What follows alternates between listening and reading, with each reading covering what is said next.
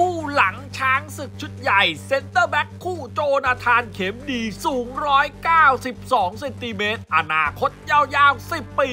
นิโคลัส มิเคลสันหนึ่งเดียวที่ยังเหลือทีมชาติไทยในยุโรปซื้อใจโอบีโอเดนเซในเดนมาร์กต่อสัญญาลุยต่อลีกสูงสุด ขณะที่สื่อญี่ปุ่นตีข่าวศุภณัฏฐ์ เหมือนตาควรหาโอกาสออกไปเล่นต่างประเทศต่อหลังจากยุติสัญญากับ OH l u v e n หรือจะเป็นเจลีกในขณะที่บอลเด็กไทยเจ็ดสียอดพุ่งคนดูเป็นล้าน เฮ้ย โอ้โหมโหลานขนาดนี้ ทั้งหมดนี้ติดตามได้ในแต่งโมโลงเปียพงยิงครับ สวัสดีครับแตงโมลงเปียพงยิงวันนี้ครับ เรามาติดตามข่าวสารกันเลยนะครับ วันนี้ต้องบอกว่าฟุตบอลนักเรียน 7 คนแชมเปี้ยนคัพ 2024 เนี่ย โอ้โห ของช่อง 7 ที่เขามีเตะกันเนี่ยนะ หรือว่าเรียกง่ายๆ ก็คือบอลนักเรียน 7 คนเนี่ยนะครับ โอ้ย หลังจากที่มีการฟาดแข่งกันมาเนี่ย ทีมที่เข้าร่วมกว่า 256 ทีมเนี่ย คราวนี้นะครับ คนดูรวมทุกช่องทางนะ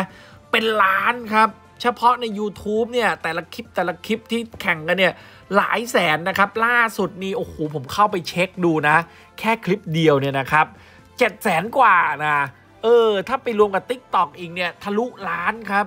โอ้โหต้องบอกว่าปีนี้เนี่ยคน ติดตามเยอะมากเลยนะครับ โดยล่าสุดเนี่ยตัวเต็งก็คือ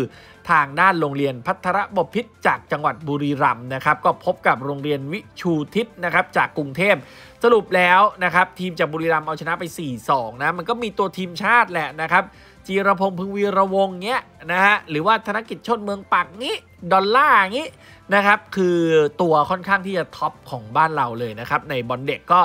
เอาชนะไปได้แล้วก็เข้าชิงนะครับ ส่วนอีกคู่หนึ่งราชวินิตบางแก้ว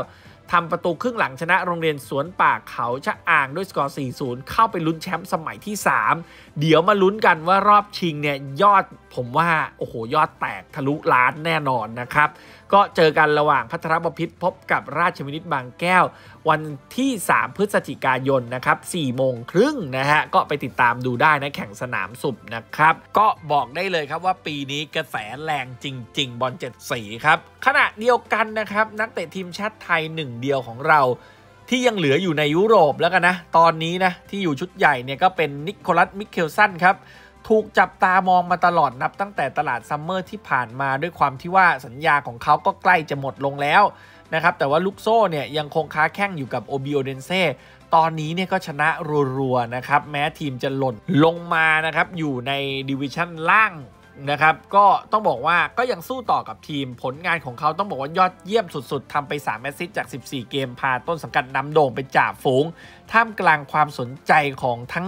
สโมสรในยุโรปแล้วก็เอเชีย แต่เอาจริงนะ นิโคลัสเนี่ยก็ต้องรีบย้ายนะ ถ้าจะย้ายอายุอานามก็เพิ่มมากขึ้นเลยนะ ในลีกยุโรปที่สูงขึ้นไปนะครับ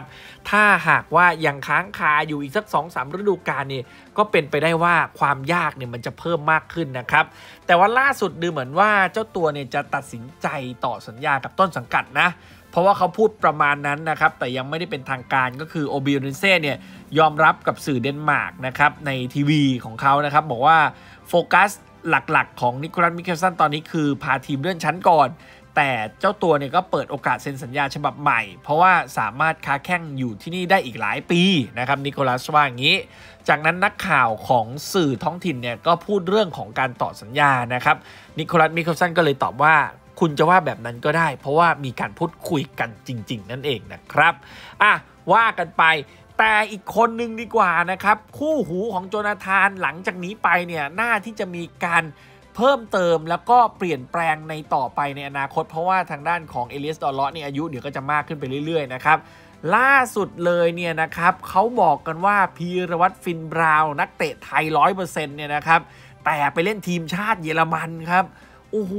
ไม่น่าเชื่อนะ แต่อายุเนี่ยยังน้อยอยู่เขาก็คาดการณ์กันว่านะครับว่าถ้าหากว่าไม่สามารถที่จะเข้า ไปสู่ทีมชาติเยอรมันในชุดใหญ่ได้ เขาก็จะเป็นตัวเลือกหลักๆ ที่มาเล่นให้กับทีมชาติไทยในชุดใหญ่นะครับ แต่ตอนนี้เนี่ยอาจจะต้องรอคอยไปก่อนนะครับ เพราะด้วยส่วนสูง 192เซนติเมตรนะครับ เป็นผู้เล่น outfield ที่สูงที่สุดในทีมชาติเยอรมัน U18 เป็นรองแค่ผู้รักษาประตูนะครับ อีกคนที่สูง 195 ในทีมชาติเยอรมันชุดนี้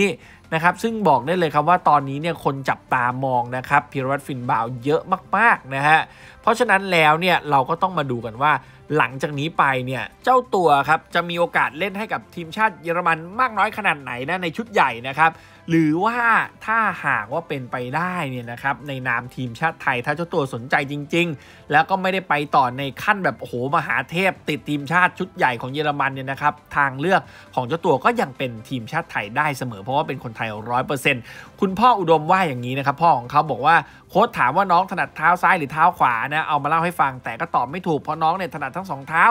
นะครับซึ่งโค้ชนะครับก็ชมมาว่าโอ้โหฟินนี่เป็นผู้เล่นที่น่าสนใจ นอกเหนือจากรูปร่างนะครับที่ยังสูงเพิ่มได้อีก ยังเล่นได้2เท้า มีความเร็วมีความแข็งแกร่งอีกอ้าวแล้วนะครับจะได้กลับมาไทยหรือเปล่านะครับตอนนี้มีทีมทั้งในบุนเดส แล้วก็พรีเมียร์ลีกมา scout อยู่นะครับซึ่งสัญญาเยาวชนที่เซ็นไว้กับคาร์ลสรูห์ยังมีอีกถึงปี 2026 แต่ในปีหน้าฟินจะอายุครบ 18 คาดว่าคาร์ลสรูห์จะเสนอสัญญาอาชีพให้ แต่หากมีทีมอื่นสนใจ ก็ต้องจ่ายค่าฉีกสัญญานั่นเองนะครับ ซึ่งพอมาดูในคอมเมนต์แล้วเนี่ยเขาก็บอกกันเลยนะครับว่านี่แหละนะครับ ตัวตายตัวแทนนะครับ คนต่อไปของเซนเตอร์แบ็กคนต่อไปของทีมชาติไทย และก็จะมาจับคู่กับโจนาธานเข็มดีนะครับ คอมเมนต์แรกบอกว่าน้องคนนี้คนไทยร้อยเปอร์เซ็นต์นะ น้องควรจะต้องมีพื้นที่ข่าวมากๆนะ หลายๆ คนนี่อาจจะไม่ใช่นะ เอออีกท่านหนึ่งก็บอกว่าโอ้โหพูดซะน่ากลัวเลย แล้วอย่างนี้จะมาไทยได้ไหมเก่งขนาดนี้นะครับ แค่นี้ก็พอแล้วครับ ถ้าจะสูงเพิ่มกว่านี้ก็โบนัส ตอนนี้รูปร่างดีเพิ่มแค่ความแข็งแกร่ง และฝีเท้าเท่านั้นพอครับ อีกท่านหนึ่งก็บอกว่า เชื่อน้องเลือกเล่นให้กับทีมชาติไทยในหลาย ๆ ปัจจัย พ่อแม่เป็นไทยอะนะครับแท้ๆครับเขาก็อยากเล่นให้ทีมชาติไทยแหละนะครับถ้ามีโอกาสแต่ตอนนี้เนี่ยฝากไปเก็บประสบการณ์กับทีมชาติเยอรมันในชุดเยาวชนก่อน แล้วก็สโมสรใหญ่ ๆ ในลีกบุนเดสลีกาแล้วกันนะครับ อีกท่านหนึ่งบอกว่ารูปร่างดีมากเลยนะ เออนะครับไปให้สุดติดชุดใหญ่ไปเลย ถ้าไม่ได้ค่อยกลับมา นี่แหละครับ แล้วก็อีกคอมเมนต์หนึ่งบอกว่ามายืนแผงหลังคู่โจนาธาน ไทยมีหลังแน่น ๆ ใช้ได้อย่างน้อยอีก 10 ปีนั่นเองนะครับอะนี่ก็เป็นความคิดเห็นของแฟนบอลนะ แต่ที่สำคัญเลยถ้ามันเป็นแบบนั้นจริงถ้าเขาเลือกได้จริงแล้วฝีเท้าเขาอยู่ในระดับบุนเลสเนี่ยนี่ก็คือการค้นหาที่เราเจอเพชรเม็ดงามอีก 1 เม็ดแล้วกันนะ ในนักฟุตบอลไทยที่ไปอยู่ต่างประเทศนะครับขณะเดียวกันนะครับอีกคนหนึ่งก็คือสุพนัทเหมือนตาล่าสุดเลยเนี่ยก็มีข่าวต่อเนื่องออกมานะครับทางเจลีก็ไปตีข่าวเหมือนกันสื่อฟุตบอลของญี่ปุ่นนะครับเขาก็บอกว่าสุพนัทเหมือนตาน้องชายของสุภโชคสารชาติจากซัปโปโรเนี่ยล่าสุดเลยนะครับ ก็ยุติสัญญากับฟุตบอลในยุโรปก็คือ OH หรือว่าในเบลเยียม ตอนนี้แบงค์เนี่ยอายุ 22 เขารายงานครบเลยนะเออแล้วก็เป็นเด็กของบุรีรัมยูไนเต็ดซึ่งเดบิวต์นะครับ ในปี 2018 ตอนนั้นเนี่ยอายุน้อยที่สุดในบริษัทของลีกไทย 15 ปี 8 เดือน 22 วัน เปิดตัวให้กับทีมชาติไทยในเดือนมิถุนา 2019 ตอนอายุ 16 นะครับ โอ้โห